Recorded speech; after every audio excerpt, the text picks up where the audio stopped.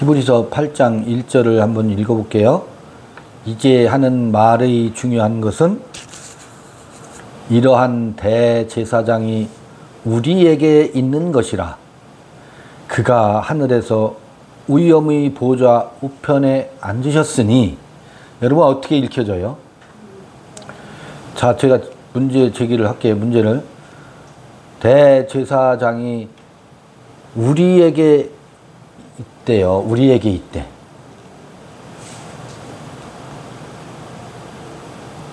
그럼 우리에게 있어야 되잖아.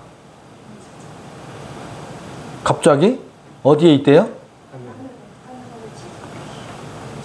그가 하늘에서 위엄의 보좌 우편에 앉으셨으니 가만히 있어봐. 우리에게 있다 그랬는데 하늘의 보좌 우편에 아 하늘의 보좌 우편에서 앉으셔서 우리 편이신가 보다. 왜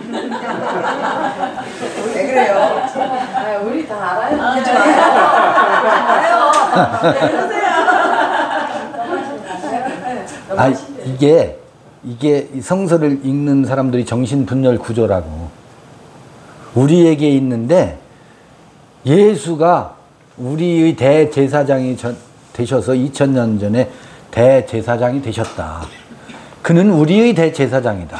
그는 지금 어디에 계시냐면 하늘 보좌 우편에 계시 거- 그곳에서 우리를 위하여 대제사장 역할을 하고 계신다 소설을 쓰고 있어요. 소설이라고 하면 지나친 표현은 뭐 이런 관념 속에서 관념을 관념의 놀이를 하고 있어요.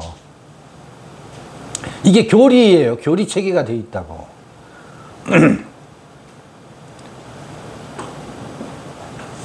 그 헬라어 텍스트로 8장 1절을 보면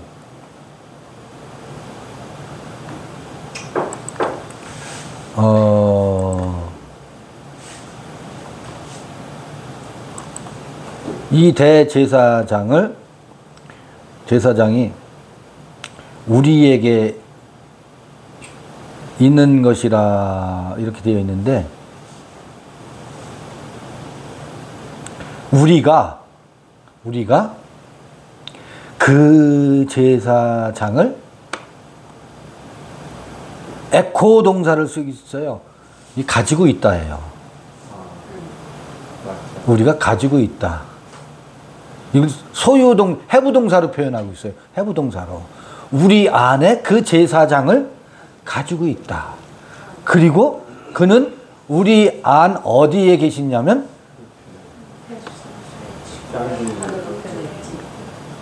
그 로마서에서는 보좌라는 말이 안 나왔었거든요. 하나님 우편에 계시다 그랬는데 여기는 하나님의 하늘에 하늘 하늘에 있는 보좌 위엄의 보좌 우편에 앉아 있대요. 우리가 그 대제사장을 좀 경박하죠.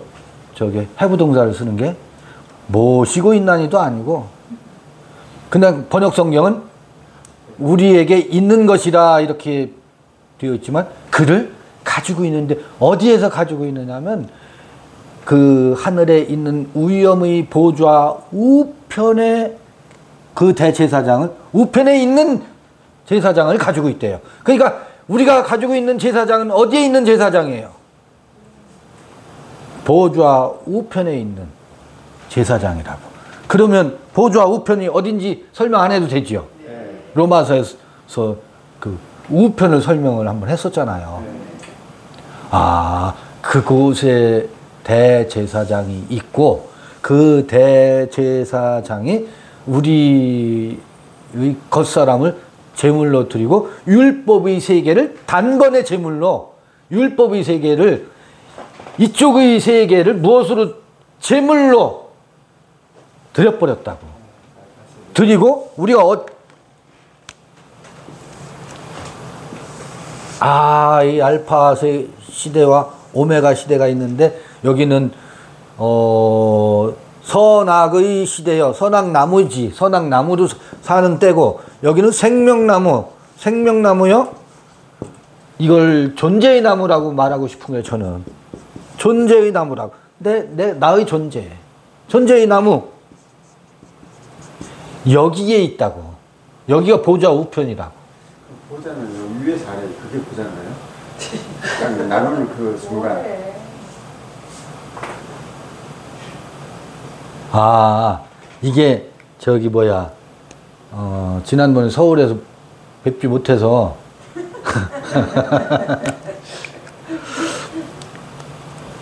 왜 보자냐면 왜 보자냐면 여기서부터가 뭐예요 여기가? 여기가 겹치는 부분이었었잖아요. 네. 오메가의 알파예요. 알파의 오메가고. 여기가 아인이요? 아인이요? 아인소프요? 아인소프요? 아인소프? 오르였었잖아요. 오르. 오르 뭐예요 여기서부터 여기서부터 오메가가 시작된다고. 여기는 바로 케테르가 시작되는 부분이라고. 여기 생명나무는 어떻게? 생명나무는 가로 세로가 아니고 요드 해 바브 해 여기에 열 개의 나무가 있죠. 이곳이 어디에? 이게 보좌예요. 우편에 있는 보좌예요. 내가 나로 있다고 존재의 나로 있는 곳이 누가 있는 대제사장이 있는 보좌요. 이 대제사장을 내가 가지고 있다. 내가 그다. 내가 그다. 그래서 여기서부터가 보좌 우편이에요.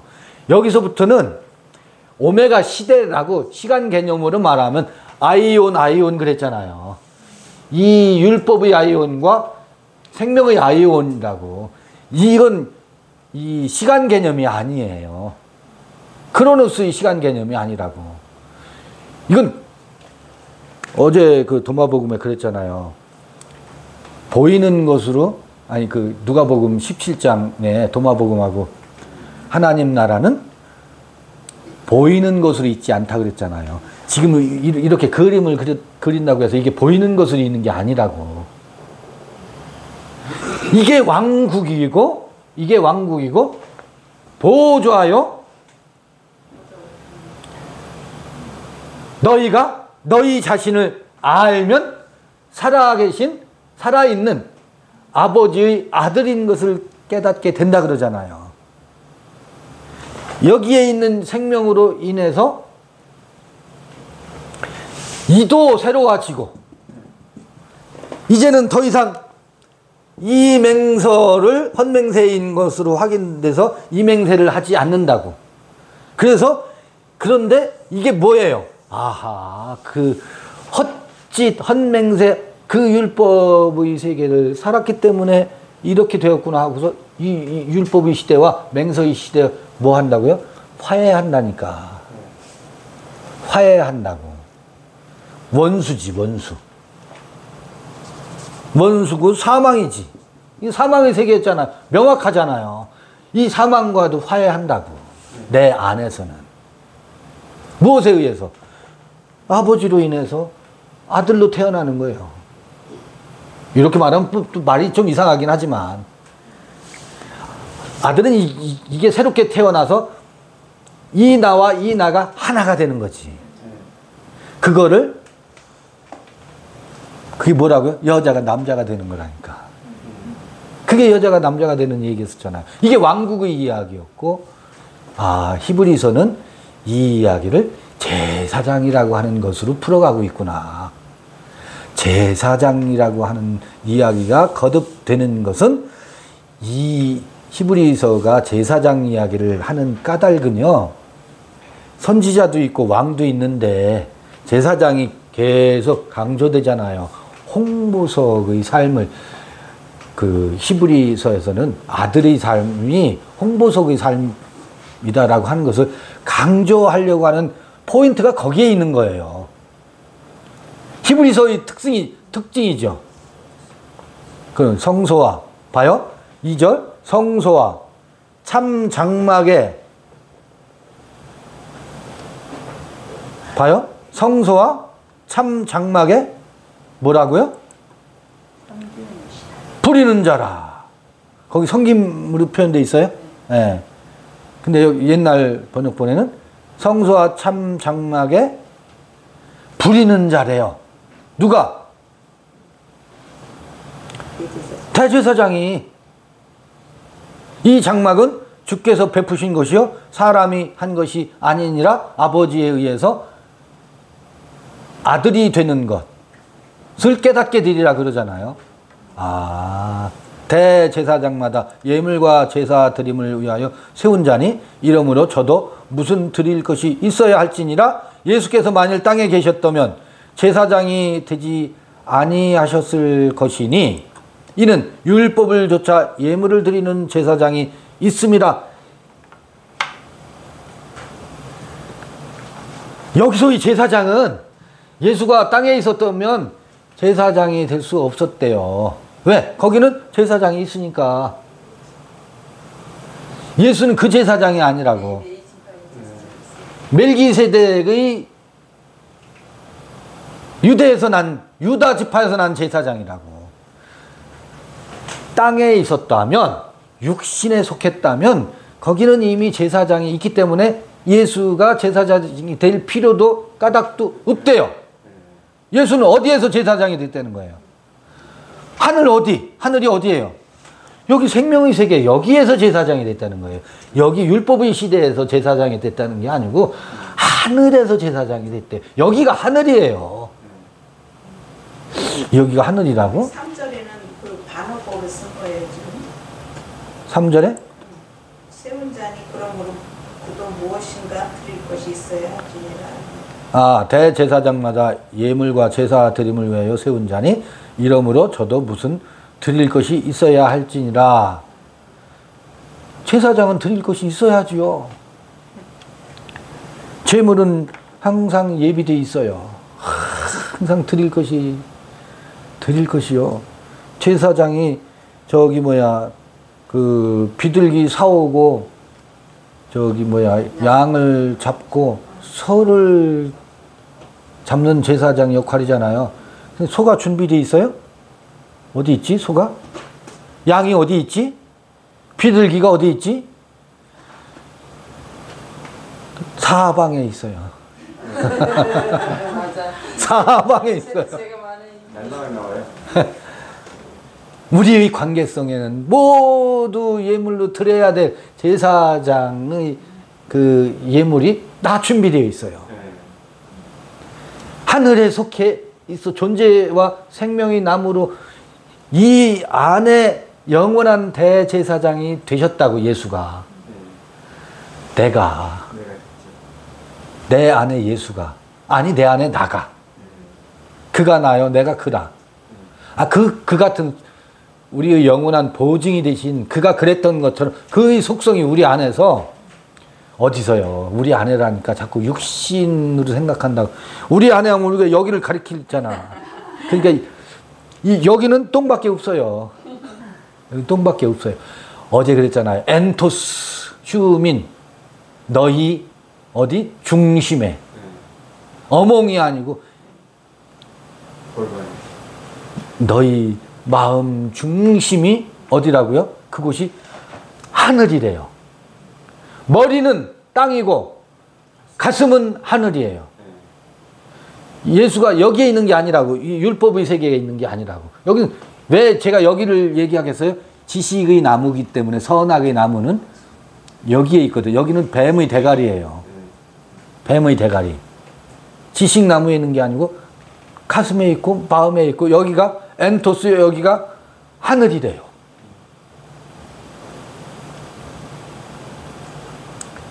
이러므로 저도 무슨 드릴 것이 있어야 할지니라 예수께서 만일 땅에 계셨다면 제사장이 되지 아니하셨을 것이니 이는 율법을 조차 예물을 드리는 제사장이 있습니다. 그 제사장이 지금도 널브러져 있어요.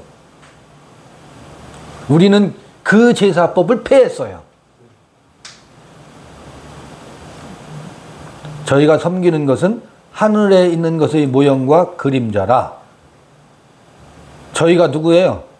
땅에 있는 제사장들. 모세가 장막을 지으려 할 때 지시하심을 얻음과 같으니 가라사대 삼과 모든 것을 산에서 내게 보이던 본을 조차 지으라 하셨느냐 이게 성막 짓는 얘기예요. 그러나 이제 그가 더 아름다운 직분을 얻으셨으니 이는 더 좋은 약속으로 세우신 더 좋은 언약의 중보시라. 저 첫 언약이 무음하였다면 둘째 것을 요구할 일이 없었으려니와 첫 언약이 나오고 둘째 언약 이거 어디서 했었지? 구약 신약? 구약 신약을 어디서 했었죠? 서울 모임에서 했었나? 네? 저녁에. 어제 저녁 말고 우리는 두 개의 언약을 가지고 사는 사람이었어요.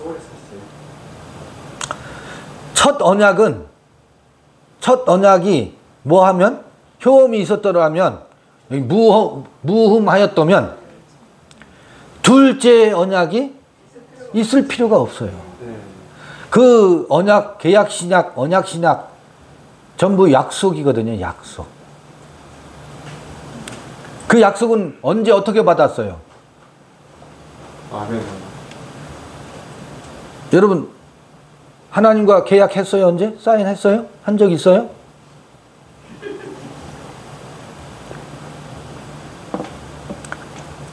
사인하고 아니면 인간 도장 꽉 찍었어요?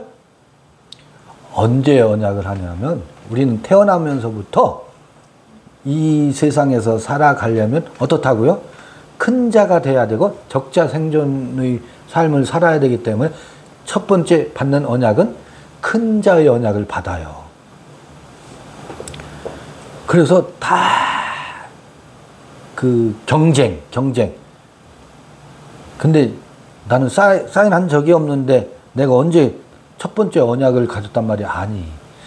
이 머리에서요. 모두가 신비가 아니고 돌비에서 그 돌비에서 그 정신이 나는 이 다음에 뭐가 될래, 뭐가 될래 다 큰 자가 되려고 뭐 했어요?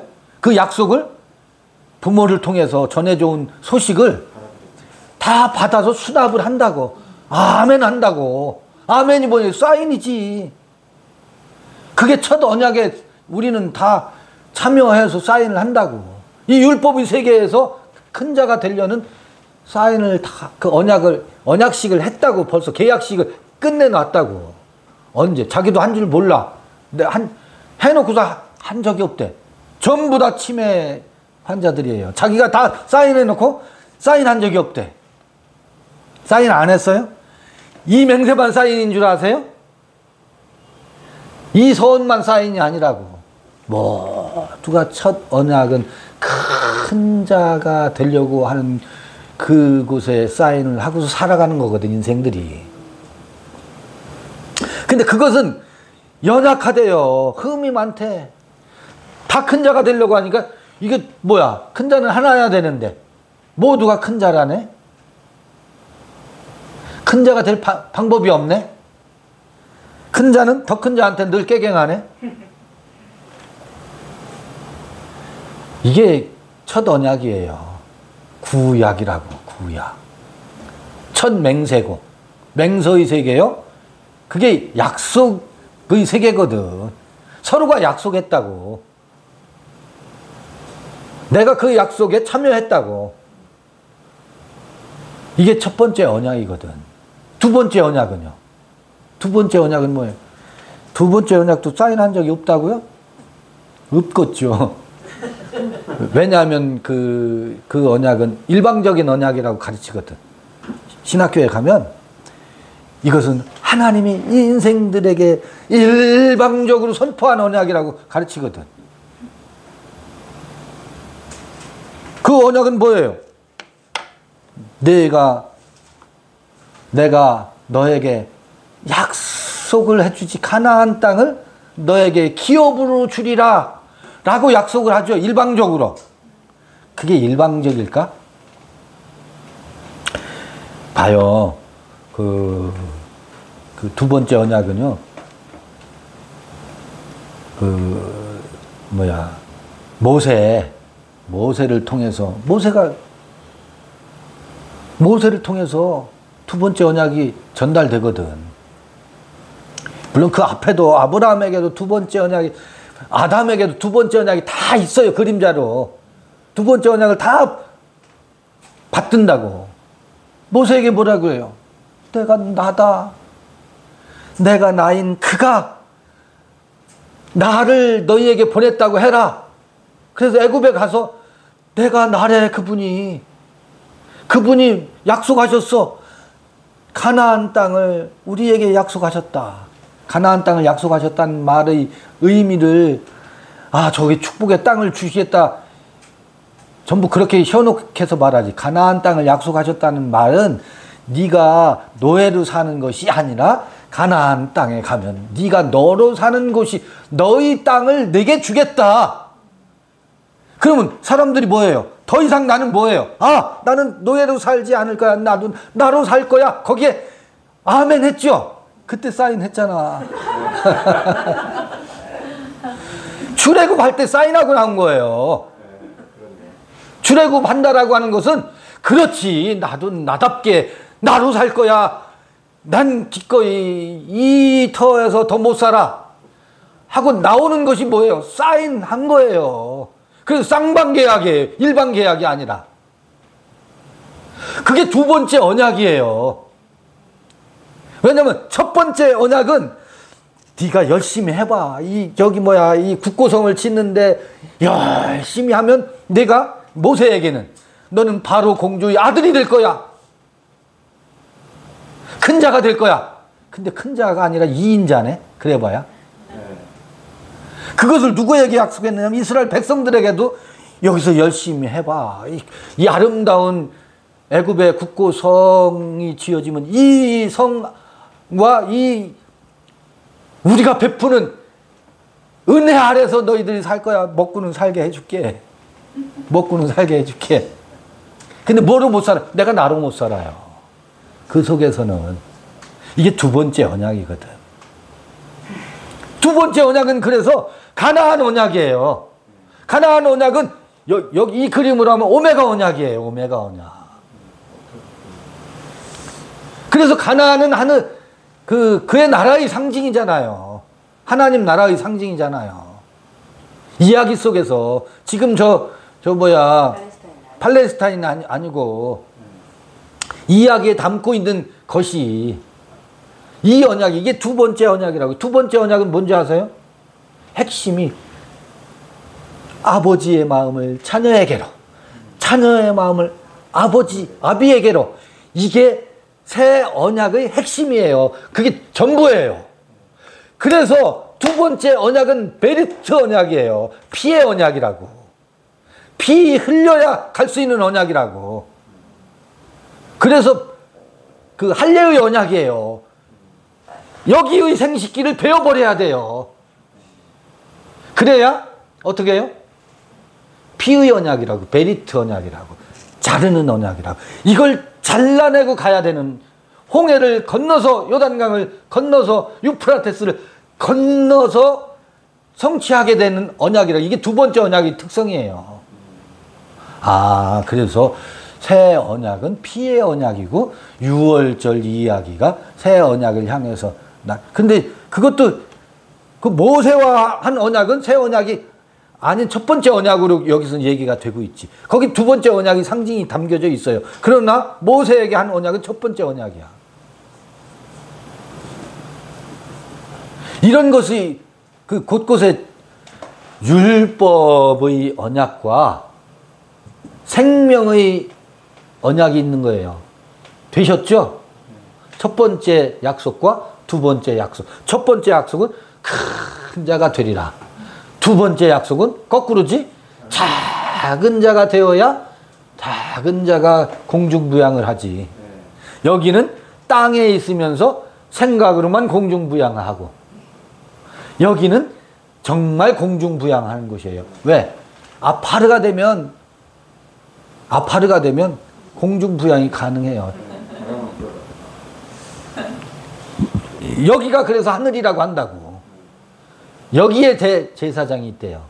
그런 얘기가 첫 언약이 무음하였다면 둘째 것을 요구할 일이 없었으려니와 저희를 허물하여 일렀으되 주께서 가라사대 볼지어다 날이 이르리니 내가 이스라엘 집과 유다 집으로 새 언약을 세우리라. 이 새 언약 주께서 가라사대 내가 저희 열조들이 손을 잡고 애굽 땅에서 인도하여 내던 날에 저희와 세운 언약과 같지 아니하도다. 저희는 내 언약에 머물러 있지 아니하므로 내가 저희를 돌아보지 아니하였노라. 그 지금 아까 제가 설명을 할 때는 애굽 바로와 그 바로 노예로 사는 것이 첫 번째 언약의 그 상징으로 제가 설명을 했었잖아요. 근데- 근데 거기서 출애굽하는 것이 첫 번째 언약 모세와의 언약을 첫 번째 언약으로 여기 지금 설명하고 있잖아요. 근데 제 말에 모순이 많이 있잖아요. 아까 그 바로와 언약한 적이 어- 없는데 첫 번째 언약은 모세와의 언약이지 않느냐? 그렇게 여러분 저한테 이제 요거 마치고 나면 그 질문 하실 거 아니에요.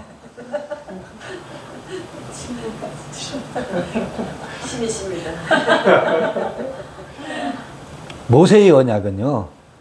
바로를 떠나서 가나안을 향한 언약이지만 그 모세의 언약 속에는 이 율법 속에는 큰 자의 속성을 믿지 아직 율법 아래 있는 동안은 벗어나질 못한다고. 네. 모세와 어 이거 참 묘한 일이에요. 이거 신비한 건데 그렇게 하지 않으면 그렇게 하지 않으면 약 쓴 약을 먹질 않아요. 쓴 약에 뭐를 입혀놔야 돼요? 캡슐. 당의정을 입혀놔야 애굽을 떠나요. 애굽을 떠나는데 가나안에 가면 뭐 한다고요?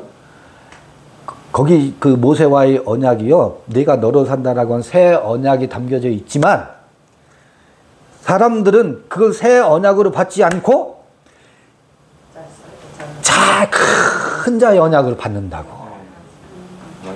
그것을 새 언약을 새 언약으로 받지 않고 큰 자의 언약으로 받는다고. 그러니까 발등 지키는 거지. 여러분 발등 지키는 거 아, 시죠 정작 가나안에 갔더니 어때요? 이건 뭐야? 모세한테 완전히 이게 세- 첫 번째 언약의 특성이에요. 모세와의 언약의 특성이에요. 그러니까 듣는 자가 첫 번째 언약으로 듣는다고. 모세와는 새 언약을 약속했다고. 근데 그를 따라오는 이들이 그것을 무엇으로 취해요? 첫 번째 언약으로 취한다고. 큰 자의 언약으로 취한다고. 우리가 그렇게 시작했어요. 머리가 될지언정 꼬리가 되지 않겠다고 누가 기도해 주면 얼마나 큰 소리로 아멘 했어요. 그 언약을 그렇게 받아들였다고. 새 언약을 첫 번째 언약으로 받아들였다고. 그래서 모세와 한 언약은 새 언약인데 모세와 그 이스라엘 민중들은 그것을 무엇으로 취했어요? 첫 번째 언약으로 취했다고. 그래서 바로 밑에서의 노예 생활하고 뭐예요? 의식이 똑같아졌어요. 질문 나올까봐 미리 답하는 거예요. 그래서 모세와의 한 언약이 새 언약인데 사실은 첫 번째 언약으로 됐다고. 첫, 첫 번째 언약으로 묘사가 되는 거지. 모세와도 새 언약한 거예요. 그런데 옛 사람은 아무리 말해도 새 언약을 말해도 그것을 무엇으로 바꿔요? 옛 것으로 변환시켜요. 그것을 뭐 베어내야. 그래서 베리트 언약이에요. 언약이 뭐 피의 언약이라고. 아, 이거를 베어내야 이 생명의 언- 언약을 받아들일 수 있구나. 말라기에서 4장 그 몇 절이 6절인 아니 몇 절이에요? 4장 6절인가? 말라기 맨 마지막 절이 뭐예요? 아비의 마음을 자녀에게로 자녀의 마음을 아비에게로가 구약의 뭐예요? 새 언약에 대한 결론이잖아요. 그러니까 구약이 구약이 아닌 거라. 그렇죠? 구약이 구약이 아니라고요. 구약의 그 텍스트 마지막 구절이 새 언약을 얘기하는 거라고요. 송아지가 뛰어놀고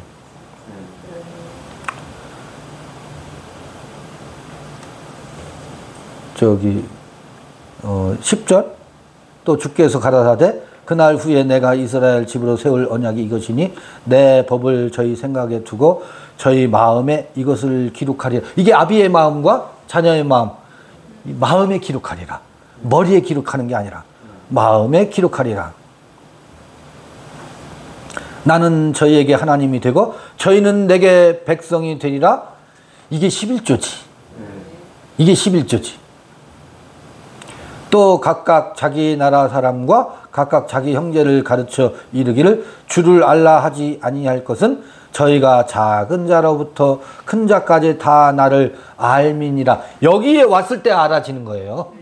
여기서는 내가 저희 불의를 극률이 여기고 저희 죄를 다시 기억지 아니하리라 하셨느니라. 그게 뭐예요? 여기에 있는 일을 기억지도 않아요. 여기에 오면은요.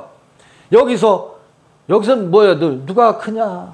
도토리 기재기 하면서 왜 그래요? 왜 눈이 돌아가요? 아니 저희가 입은 옷이 내, 내 옷보다 더 이뻐 보이거든. 여기는 늘 그러고 산다고. 괜히 신경질 난데. 아무것도 한 적이 없는데. 저기 뭐야, 쇼 호스트만 보면 괜히. 묘한 일이야. 마음에 덫이 난, 덧난데. 아, 그것이 이제 이 세계 오면 그 세계가 기억나지도 않아요. 기억나지도 않 누가 뭐라, 어, 아, 그런 적이 있었어? 아, 맞아. 어렴풋이 그런 것도 같네. 근데 나는 기억이 안 나는데 그런 기억하고 나한테 사과를 하더라고. 아, 내가 그때 말이야. 그때, 어, 그때. 아, 그랬었군요. 그래서 곰곰이 생각해 봤어. 아, 왜 그러지? 왜, 그게 무- 그때 무슨 일이 있었길래 나한테 결례했다 그러지? 나는 결례 받은 적이 없는데 그는 결례를 했어. 그는 기억하고 있는 거예요. 여기 있는 사람들의 특징이에요. 여기 있는 사람은요, 맹세를 했기 때문에 맹세를 잃어버릴 수가 없어. 서약했기 때문에. 근데 그게 헌맹세인 줄을 아는 사람은 내가 억지로 기억하는 거지. 저 77 민족 복음화 때 77년도면은 내 청소년기예요. 10대 여의도에 갔었어요. 너도 가서 서약했다고. 그걸 기억지도 않아요. 그것 때문에 지금 그때 서약한 것이 나를 제어하겠어요? 안 해요. 아무런 영향을 못 미쳐요. 여기 있을 때는 그것 때문에 끌려다녔었지. 지금은 생각도 안 나요. 기억지도 않아요. 이런 말 할 때 그 이거 설명하기 위해서 끄집어낼 뿐이지. 그게 나를 그런데요 이- 여기 아래에 있는 사람은 그 잊어버릴 수가 없어요. 자나 깨나 그 기억 속에 살아요. 자기를 내가 하나님께 약속했는데 하나님께 서약했는데 서원했는데 그러니까 우리는 이 기억이 나를 사로잡고 있으면 아, 새 언약의 그 절기가 아직 멀었구나. 새 언약이라 아, 내가 저희 불의를 기- 긍휼히 여기고 저희를 죄를 다시 기억지 아니하리라 하셨느니 긍휼히 여긴다는 말이 무슨 말이에요? 홍보서 홍보석이지. 저희 불의라는 게 그냥 여기에 있는 그, 그 자체, 율법의 세대에 있는 그 자체를 말하는 것이지, 너 어제 저녁에, 에? 나쁜 맘 먹었지? 그걸 따지는 게 아니에요. 어저께 나쁜 마음을 먹었는지, 좋은 마음을 먹었는지 관심 없어요. 다만, 나쁜 마음과 좋은 마음 사이에서 춤추고 있는 그것이 뭐예요? 안쓰러울 뿐이에요. 나쁜 마음도 관심이 없고 좋은 마음도 관심이 없어. 네가 좋은 마음 먹은지 그 나보고 어쩌라고. 아 하나님이 감동을 주셨다고 집을 팔라고? 그 좋은 마음이에요? 그 자체가 불의예요. 그 불의를 극률이 여긴다고. 그래도 그런 마음 좀 잡숴봐요. 여러분, 그 세계를 떠나야 돼요. 새 언약이라 말씀하셨음에 첫 것은 낡아지게 하신 것이니 낡아지고 쇠하는 것은 없어져 가는 것이니라. 그러면서 이제 구장으로 넘어가요.